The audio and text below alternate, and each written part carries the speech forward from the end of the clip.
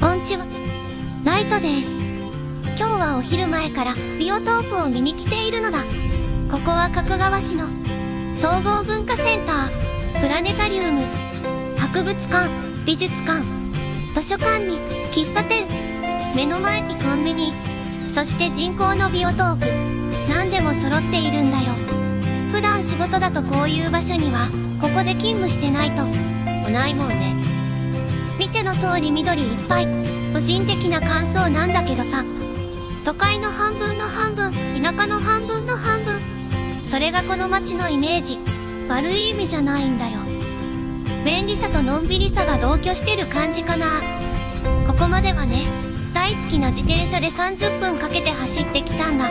今日も30度超えているんだけど、大丈夫。電波の高騰アクエリあるから。さて、ビアトープビアトープ、テクテクテクテク、テクテクテクテク。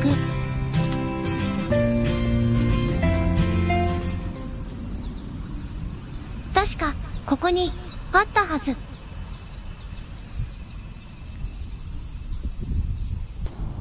え、あれ、あれ。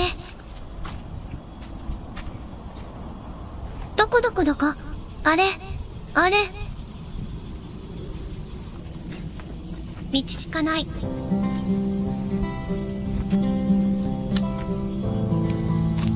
前は水が流れてすごく綺麗な。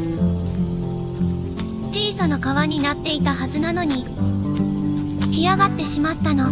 かな。人工のビオトープだからそれはないか。ここまで暑い中これを見たくて来たのに。博物館とか図書館とか行かないのかよって突っ込まれそうだけどこの人工のビオトープ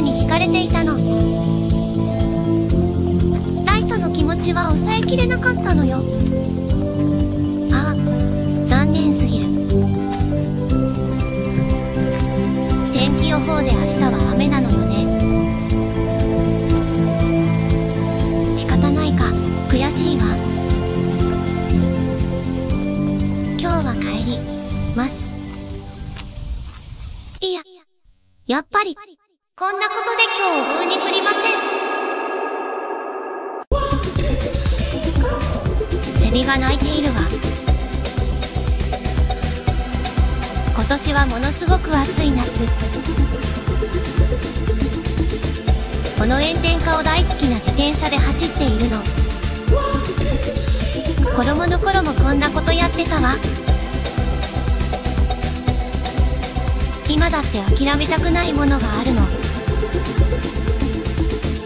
明日でいいかって置いておけるものと。今日やらないとダメって思うもの。この2つしかないと思う。息を切らしてハーハーハーハー。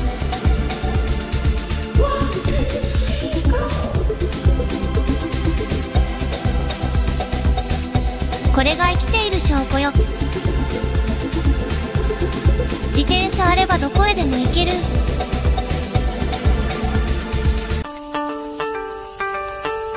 やったが着いたわ。こういう場所に来たかったのだ。一旦家に帰りまたここまで30分自転車をかっ飛ばして曇り川ビオトープ高原に来たのだ。お水は透き通っていてせせらぎの音がとっても気持ちいいよ。黒アペハなのかな？ケドチョウの体も全部黒いから黒アゲハじゃないかも。確か黒アゲハって赤い色もあったと思うんだけど間違ってたらごめんね。の曇り川って一級河川加古川から来てるみたい。大きな大きな川だから。いろんな地方に流れ込んでいってここみたいなビオトープを作っているんだね。子供の時はよくこんなところで遊ぶこともあった。働き始めたら全然気に求めなくなったな。ザリガニ取ったりメダカ取ったり。懐かしい思い出いっぱい。誰リガニいるのかな？昔バーベキューでサワガニを。焼いて食べたらお腹痛くなったわ。経験値アップ。もう食べないわ。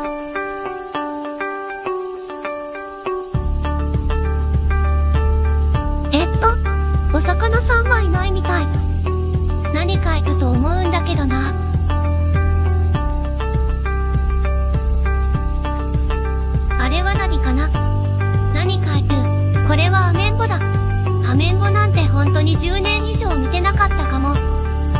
水面の揺らぎの場所にアメンボがいるわ。足から液体状のものを出して浮かんでいたと思うよ。ビオトープを通して小さな自然が見えるよね。透明な水。せせらぎの音。セミの声。やっぱり日本の夏の一つだよね。この景色。明日は降水確率90%今日来て本当によかった。ここは加古川市の神田町にある。曇り川ビオトープ。このすぐ近くにも別のビオトープがあるらしいよ。今日は本当に来てよかったっつわ。満足レベル上げ上げで区長が